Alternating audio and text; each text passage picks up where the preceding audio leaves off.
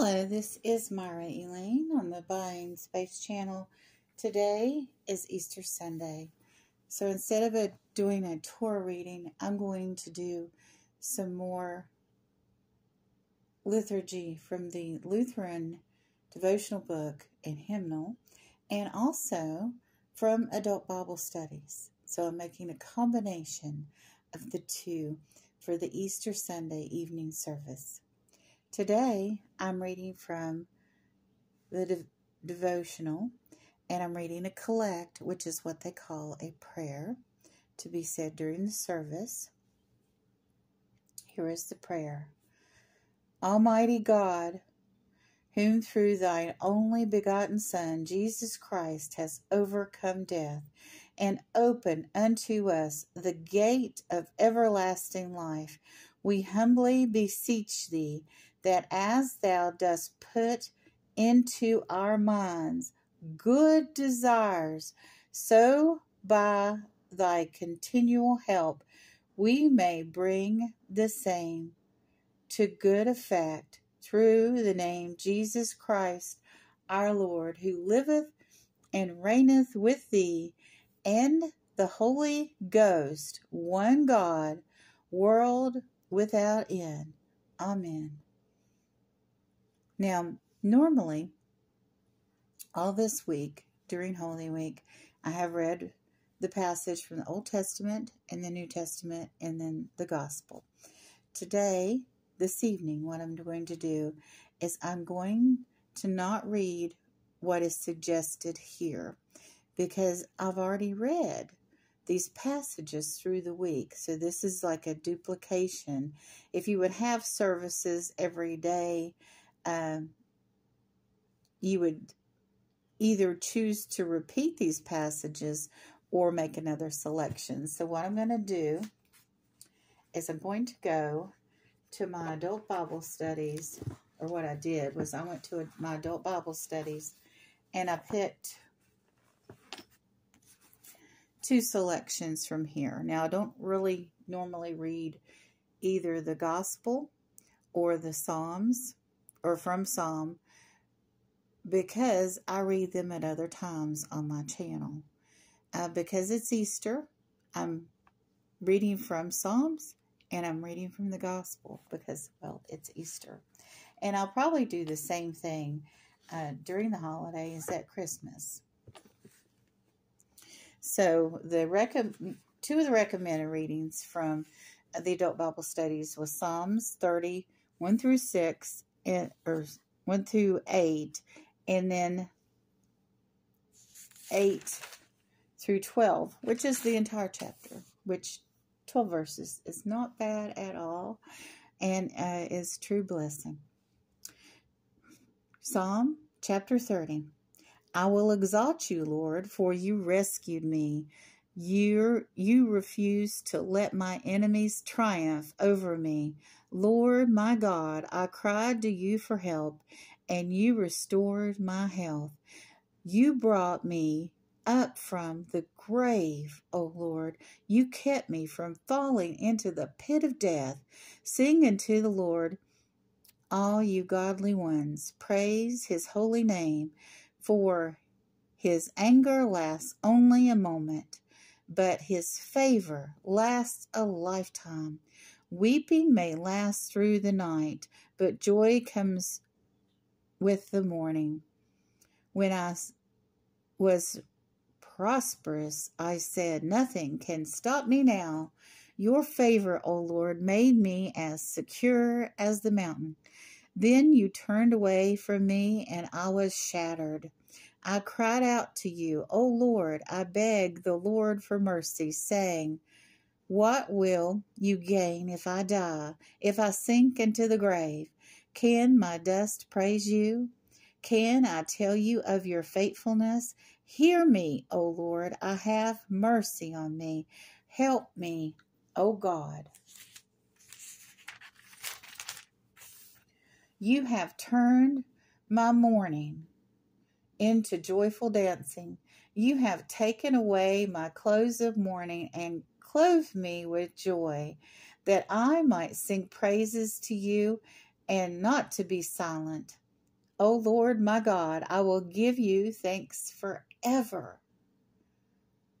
What a wonderful reading for Easter because Jesus was arrested and betrayed and tortured and died on a cross, an agonizing death.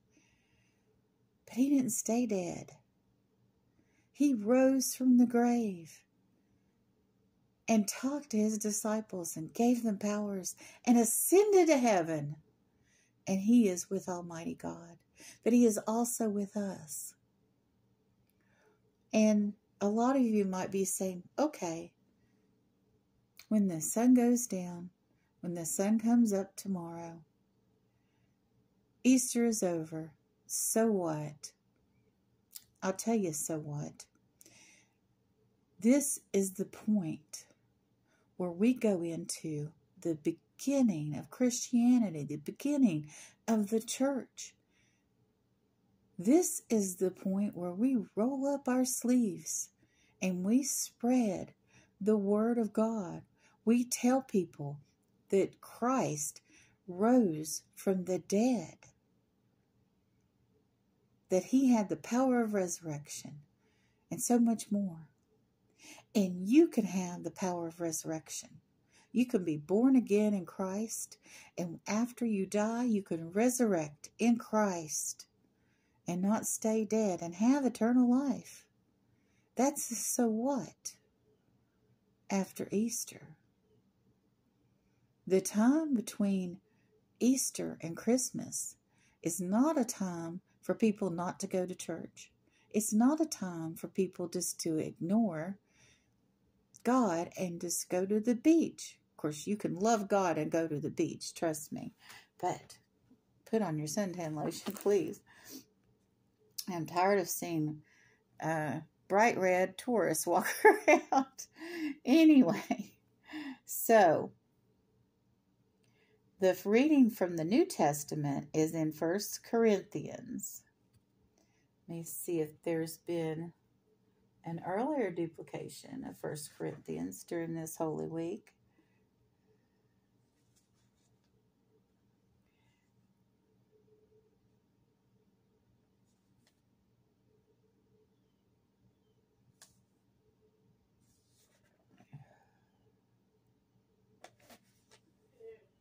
There has been a First Corinthians reading, but it's not the same chapter and verse.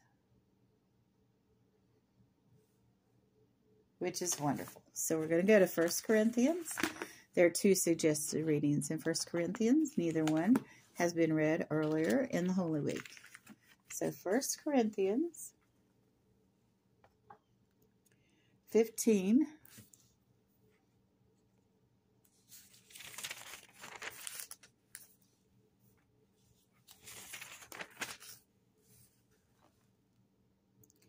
20 to 26 is our New Testament reading.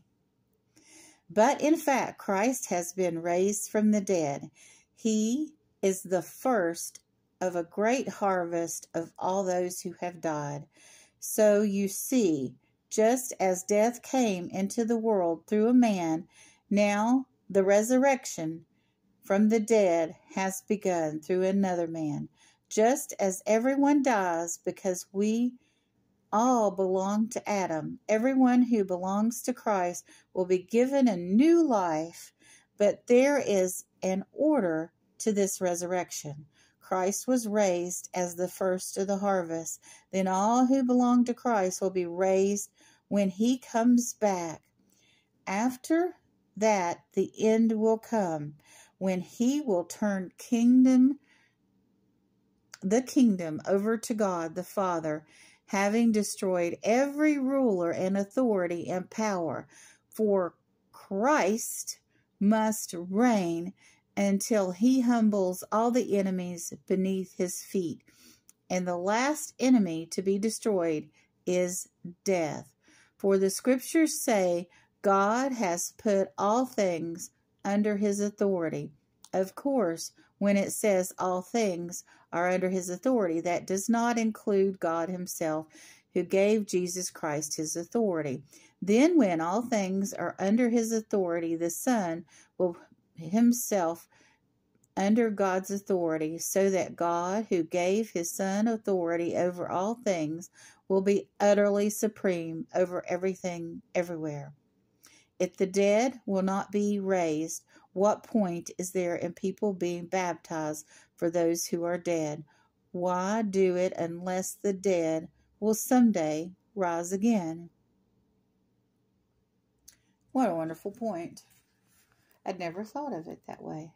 I'd probably read this passage of scripture sometime in the past and not realized the implica- full implication of it. So we're going to go to 1 Corinthians 5 and read two verses.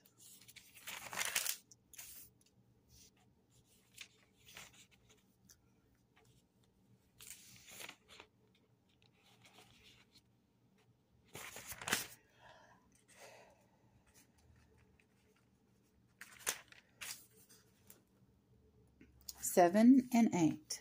First Corinthians five, seven and eight.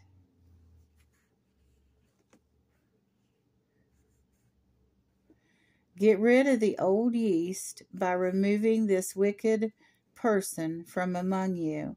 Then you will be like a fresh batch of dough made without yeast, which is what you really are. Christ, our Passover lamb, has been sacrificed for us. So let us celebrate the festival not with the old bread of wickedness and evil, but with the new bread of sincerity and truth. Wow. What does that mean? Does that mean uh, we as Christians are should uh, kick people out of the church? I don't think so. I think this is talking about decay and the old law.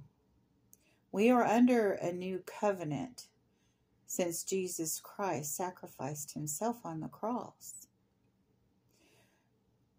When um, people come into the church these days, even Messianic Jews, they don't have to be circumcised, for instance.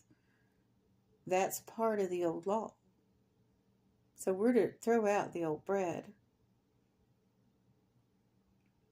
people choose to uh, circumcise their babies for medical reasons, and that's fine. But it's absolutely positively unnecessary anymore because that's part of the old law. That we have grace and merciful God, graceful, merciful God. And we need to go forth with serenity and truth. And we need to spread the gospel of Jesus Christ. Now I'm going to go to the gospel reading. It's in Mark. The four gospels are Matthew, Mark, Luke, and John, and they each tell the story of the life of Christ. Mark 16. But they tell it in their own unique ways, from their own perspective. The Gospels are genuine. So, Mark chapter 16. I hope you all are having a wonderful Easter Sunday, joyful and happy.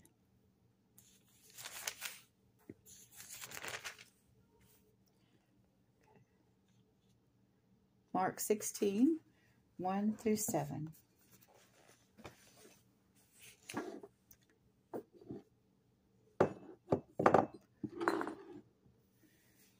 The resurrection. Saturday evening, when the Sabbath ended, Mary Magdalene, Mary, mother of James, and Salome went out and purchased burial spices so they could anoint Jesus' body. Very early on Sunday morning, just at sunrise, they went to the tomb. On the way, they were asking each other, Whom will roll away the stone for us?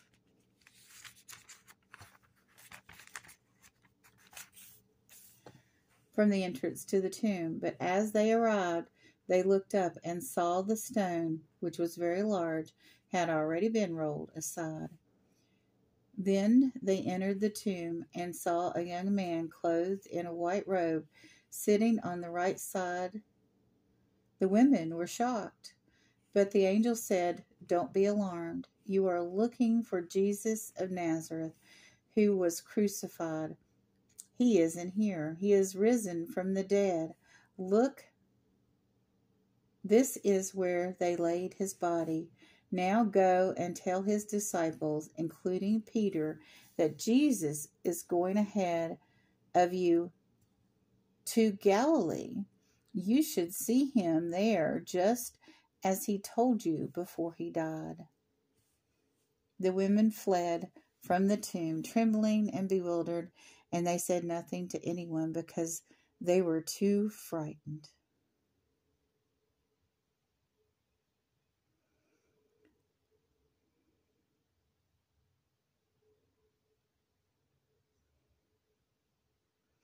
And some other manuscripts include the following.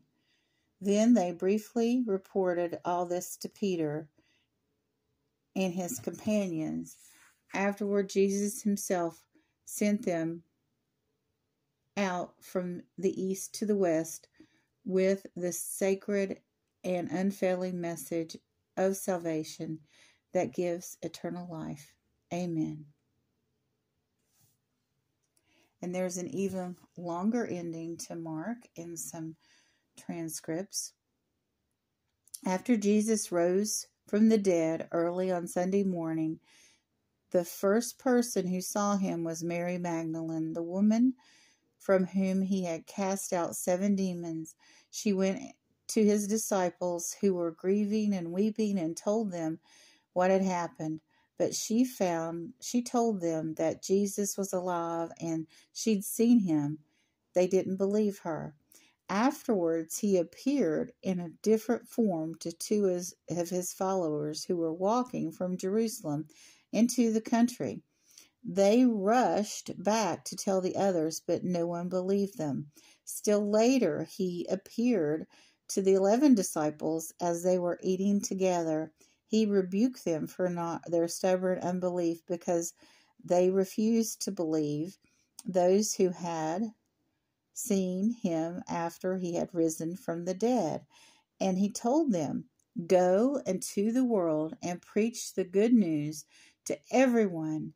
Anyone who believes and is baptized will be saved, but anyone who refuses to believe will be condemned. That's the unpardonable sin. These miraculous signs will accompany those who believe.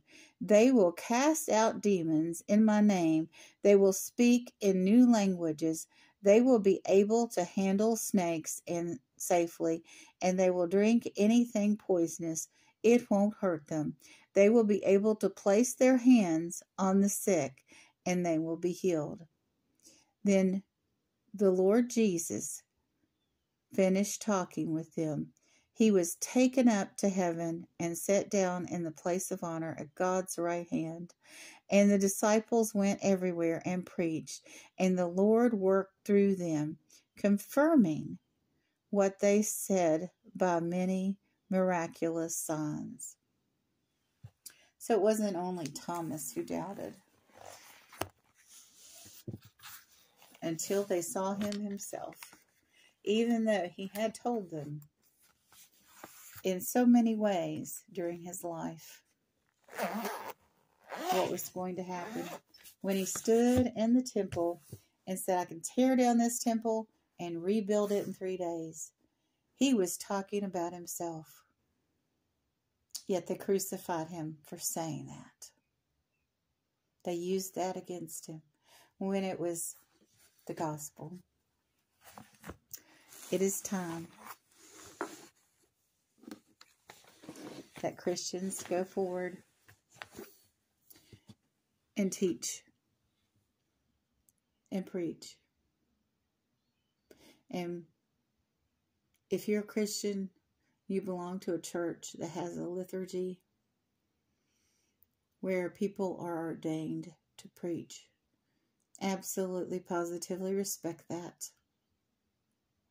But that doesn't prevent you from being a witness to being the wonderful nature of being a Christian and having forgiveness and being able to walk and talk and not have fear or anxiety because you have eternal life. Don't look to today or tomorrow or next week or next year. Look to eternity and spread the word to others that they can do the same because Jesus is risen and he's in the world today. And all we have to do is tell other people, let's build Christ's kingdom around us full of love, faith, and hope instead of fear and anxiety. What does it matter if the world is ending tomorrow or next week or next year or a thousand more years from now, which is entirely possible? We need to focus on a risen Savior and not have our mind in apocalyptic events. Yes, let's discuss it. But our focus, our spirit, our nature needs to be in the present when we are teaching, but talking about eternity and the stuff in between. Take it as it comes. I hope that makes sense to some of you. You all have a wonderful and blessed Easter.